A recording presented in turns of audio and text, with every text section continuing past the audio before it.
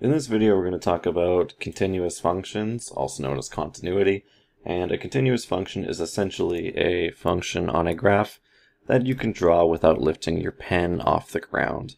It's a very informal definition of continuity, but it's sufficient enough for you to get the general idea of what we're talking about here.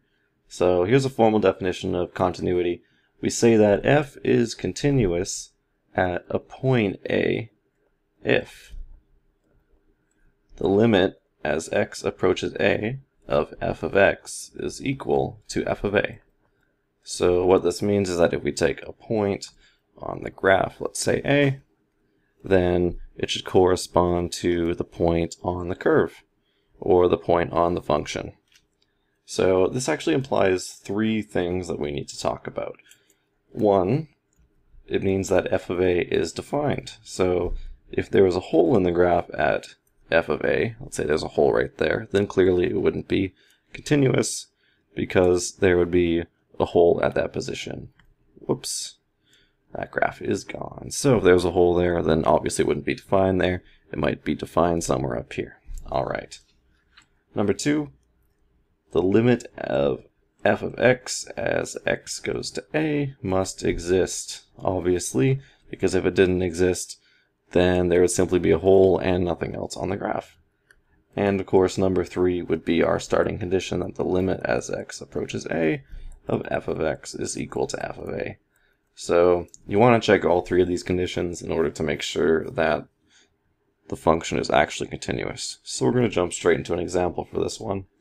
And we're going to talk about the function f of x is equal to x squared minus x minus 2 over x minus 2. So it should be apparent that looking at the denominator, if x is equal to 2, then the function is not defined. In fact, that would be 4 minus 2 minus 2, you'd get 0 over 0. So it would be discontinuous at 2. And it's as simple as that because the function is not defined at 2 then it's discontinuous at 2. So in our next example, we're going to say, well, you know, if f of 2 isn't defined, maybe we can give it a definition. So I'll write that uh, f of 2 not defined for our first one. We're going to take the same function, we're going to call it g of x, and it is going to be equal to x squared minus x minus 2 over x minus 2 if x is not equal to 2, but it's going to equal 1 if x is equal to 2. So now we have this defined. So if we take g of 2, it is going to be equal to 1. Okay, so our first condition is met. g of a is defined, in which case g of 2 is a. So does the limit exist? Okay, well, if we take the limit from the right, in fact, let's move down a little bit so we can write this the limit as x approaches 2 of x squared minus x minus 2 over x minus 2, that's 2 from the right, is equal to a wobble factor at the top, which is x minus 2, x plus 1 over x minus 2. The two x minus 2's cancel, so we'll get the limit as x goes to 2 from the right of x plus 1, which is equal to 3. And in fact, I'll skip a bunch of steps, and if uh, the limit comes to 2 from the left, it is also going to be equal to 3. Okay, so have we found a continuous function by giving it this extra condition?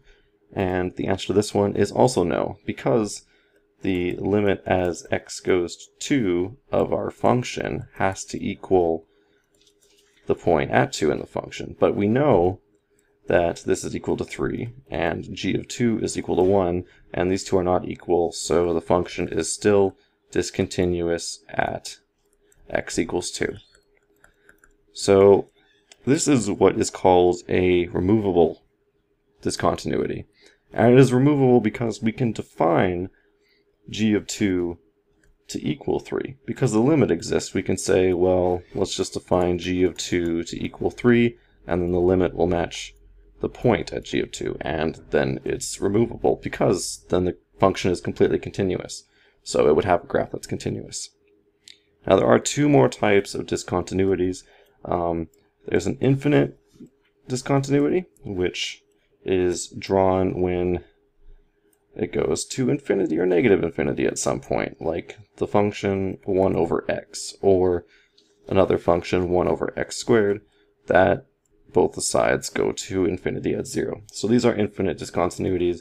These are not removable because you can't simply define, oh, when x is equal to 0, this is 0, or this is 1, because it goes to infinity, you can't necessarily pick a single point.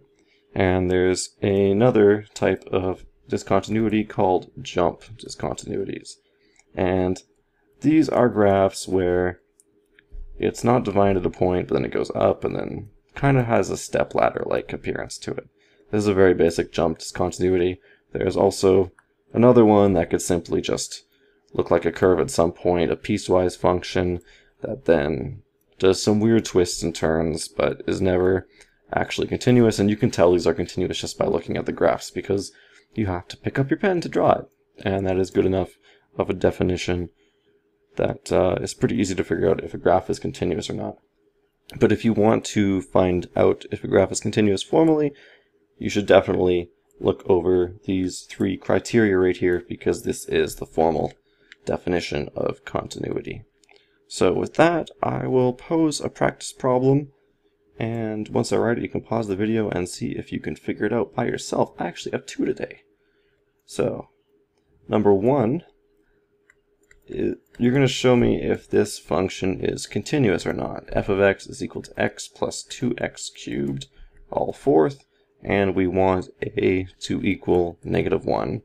And our second question is going to be f of x is equal to, it's a nice piecewise function, cosine of x when x is less than 0, 0 when x is equal to 0, and 1 minus x squared when x is greater than 0. So the second question is, is it continuous? And if not, why? And the first question is just show if it is continuous. Find the limit as x approaches negative 1. Alright, so hopefully you had a chance to try these questions out. So number one, we simply plug in the limit as x goes to negative 1 of our function x plus 2x cubed to the 4 is going to be, well, we can just plug x equals negative 1 into the equation and we can see what we get. So that's negative 1 plus 2 times negative 1 cubed all to the fourth, which is negative 1 well, negative 1 to the third is negative 1, so plus 2 times negative 1 is minus 2, all to the fourth, which is equal to negative 3 to the fourth, which is positive 81. So because the function is continuous, we can find the limit, and we know that the limit is the same thing of f of, what do we have here? f of, yeah, f of negative 1. You just plug f of negative 1 in there, and it's the limit, and this satisfies the condition that the limit as x goes to negative 1 of f of x is equal to f of negative 1. So perfect, we know it's continuous. Second question is a little bit more difficult.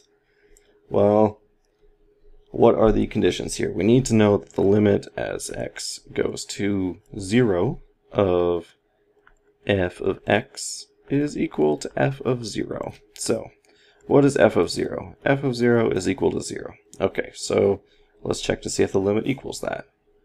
Well, we'll take the limit as x goes to 0 from the left, and when it comes from the left, x is going to be less than 0, so we take cos x. And what is cos of 0? Cos of 0 is equal to 1, if you remember on a unit circle, this point here is the same thing as 1, 0, which we have cosine theta, sine theta, as far as coordinates on a unit circle. So this equals 1, and the limit as x approaches 0 from the right is going to be the same as 1 minus x squared, and 1 minus 0 is equal to 1. So here we have a minor problem because the limit as x goes to 0 of f of x is equal to 1, but f of 0 is equal to 0. So there is a discontinuity in this equation. And because we've shown that the limit and the function evaluated at 0 are different, the function is clearly discontinuous. Is it removable or not? You can figure that on your own and see if you can find a solution where we can make this function continuous. In fact, I can propose a very easy solution. We just say when x equals 0, then we say that f of 0 is equal to 1, and bam, the function is now continuous. There is your answer to fix the function.